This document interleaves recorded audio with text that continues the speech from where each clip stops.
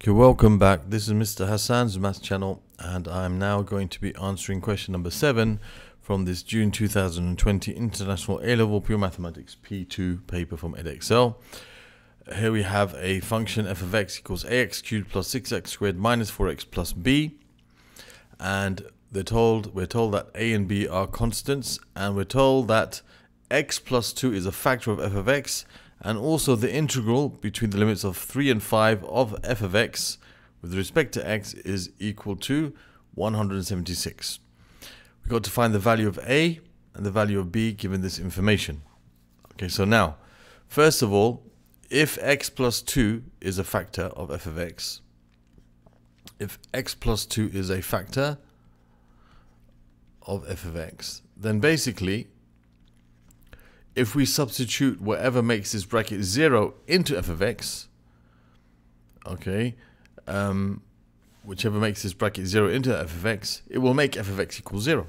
So what makes x plus 2 equal 0? When x equals minus 2, okay, f of x is equal to 0. Or we could say f minus 2 equals 0. Okay, so if we substitute whatever makes this 0 into this function, it's going to make the value of the function 0. So basically what we can say here, if f minus 2 is equal to 0, we're going to have a times minus 2 cubed plus 6 times minus 2 squared minus 4 times minus 2 plus b equals 0. So that's going to give you negative 8a plus 6 times 4 is 24 because negative 2 squared is positive 4 and negative 4 times negative 2 is positive 8 plus b equals 0. So if we simplify this, you have negative 8a plus b plus 32 equals 0. So we can write an equation minus 8a plus b is equal to negative 32. So we can call that equation 1. Okay, that's, that's one equation we formed from this information. Now we have another piece of information that the integral between 3 and 5 of f of, x with respect to x gives us the value 176. So we know this is the original function f of x. So let's set up the integral of this. So we got the integral between the limits of 3 and 5 of ax cubed plus bx squared minus 4 times x, sorry, ax cubed plus 6x squared minus 4x plus 6x squared minus 4x and then plus b. Okay ax cubed plus 6x squared minus 4x plus b that's right. All of that integrated with respect to x is going to give us 176 so let's just integrate this now so when you integrate this, a is a constant. So basically what's going to happen is you increase the power by 1. So it's ax to the power 4 and divide by the new power. Plus, and then this, you're going to increase the power by 1 and divide by the new power, which is power of 3. Minus 4x becomes minus 4x squared over 2.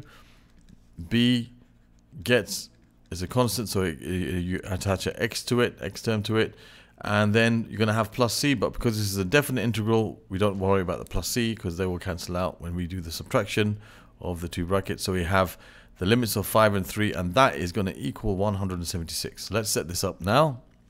Uh, let's um, simplify these first. This is ax to the power 4 over 4 plus 2x cubed plus 2x squared plus bx 5 3 equals 176 now we can start substituting the values of x in here. So we have a times 5 to the power of 4 over 4 plus 2 times 5 to the power of 3 plus 2 times 5 to the power of 2 plus b times 5. Let me just make sure. Ah, oh, there's a this is a minus. There's a mistake here. So you've got to be very careful. That's minus and a minus and a minus. Let's make sure. Okay. Yeah, there's a minus there. I'll be very careful about that. that. I almost messed up there. It would have got my answer all wrong. Minus, and then we're going to do the same thing, but substituting 3 instead of x. So if a times 3 to the power 4 over 4 plus 2 times 3 cubed minus 2 times 3 squared plus b times 3. And all of this is going to be equal to 176. So this looks like we'll be able to set up a second equation with a and b and if we do this properly. So now 5 to the power 4 is 625. Okay, just make sure of that. 5 to the power 4 is, yeah, so 625a over 4. Uh, 5 cubed is 125. 125 times 2 is 250. 5 squared is 25. 25 times 2 is 50. And this is 5 times b minus, I'll keep the bracket here. 3 to the power 4 is 81. So this is 81a over 4. And this is plus, that's 3 cubed is 27. 27 times 2 is 54. Minus 2 times 9, which is 18 plus 3b, and that's equal to 176. So we got here 625a over 4 minus 81a over 4. So let's work out what that is. 625, take away 81. Okay, and they're both over 4, so divided by 4. Good, good. that's 136, 136a. Then we got 250 minus 50, which is 200.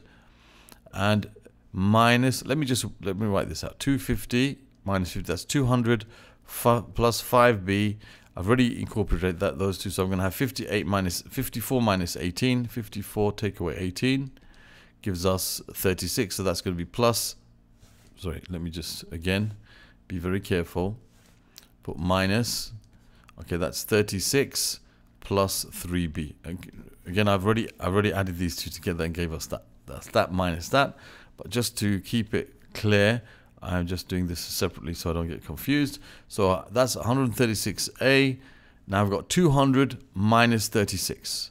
So I've got 200, take away 36, which is going to be 164. Yeah, so that's plus 164.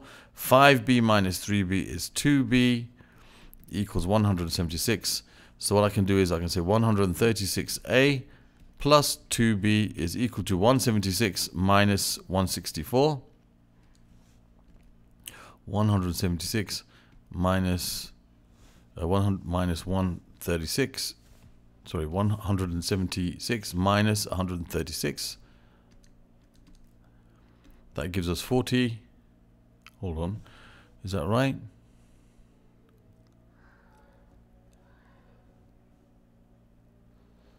Plus 2b equals 1 equals 176 minus sorry minus 164 sorry about that. It's minus 164 176 minus 164 okay that gives us 12 okay because I have to tell that's, that's with the a in it. All right and then we can divide everything by 2 136 divided by 2 okay 136 divided by 2 gives us 68. So that's 68a plus b equals 6. So that's equation 2. So we have the two equations. One of them was minus 8a plus, what was it? Plus b equals negative 32. And we have 68a plus b is equal to 6. So what we can do here is we can add, we can subtract these two equations. So we have minus 8a minus 68a, which is minus 72a. Um, and this becomes uh, 0 if you subtract them, equals minus 32 minus 6, which is minus, uh, 38.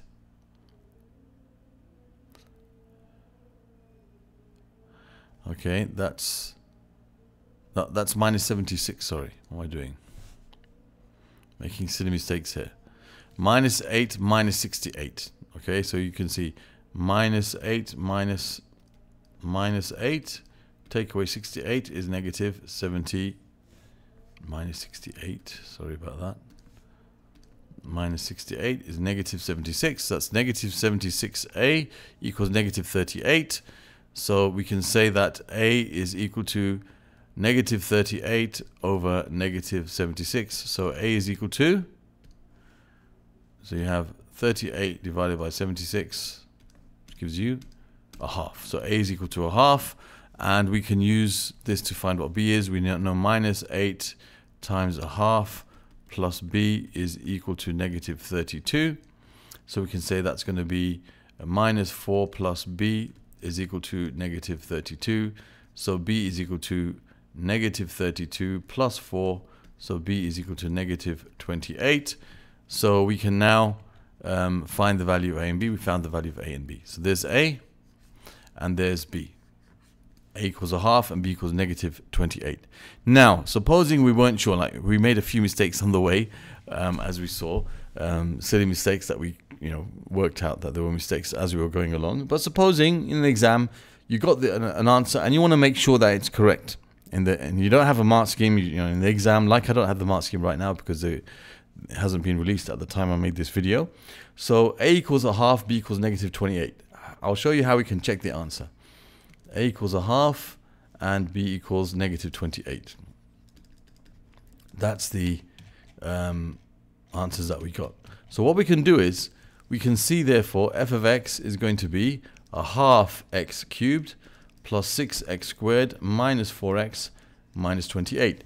Now what you can do in your calculator to check that the answer is correct is you can substitute this into the uh, integral. You can use the integral function here and you can set this up. So put a bracket, then you got a half, so 1 over 2 and you got x to the power of 3. So that's use this x here and then raise it to the power of 3 then you've got plus 6x squared, so 6x squared. And then you're going to have minus 4x, use this x button there, minus 28. Close the bracket, press this button, and then you're going to have the limits between 3, and you press this button again, and 5. And now when you press equals, hopefully, if we got the right values, then the answer should come out as 176. And it does. So we can be sure that a half should be in place of the A and negative 21 in place of the B because when you integrate that with respect to x between 3 and 5 you see we get 176 as an answer. And that's a way you can check your answer at the end. Now if it didn't come out as 176 you know, for example, we made a mistake some here, some place here. We, we, I think we called this 72. It would have come out as a different fraction, a different number, and therefore our answer wouldn't come out as 176 when we put those values in. Then you can check back for mistakes that you might have made. Like we did another thing at the beginning somewhere. I think we wrote this as a plus instead of a minus here. Okay, and then we spotted it just as we were going down and changed it. But if you hadn't spotted it, then of course the answers wouldn't be the same. Your values of A and B will be would be different, and they would not cause this to be 176 when you put it in here. So this is a very uh, efficient way and a good way of you to check your answer, especially if you got the time to do so in the exam to make sure that you have um, not made any silly mistakes. And if you have, then you can go back and try to figure out where that mistake is and correct it. Okay, so there's the answer for this question from June 2022. Question number seven. Other questions from this particular paper can be found by looking or clicking on the link which will be over here. Um, that will take you to other questions from this paper. This this link will take you to, I guess this is uh, to do with, I'll put the factor theorem, so I'll put it under, um, you know, uh, algebraic expressions. I'll also put it under integration and you can subscribe to my channel by clicking on the link in the middle here. Thank you for watching and see you soon.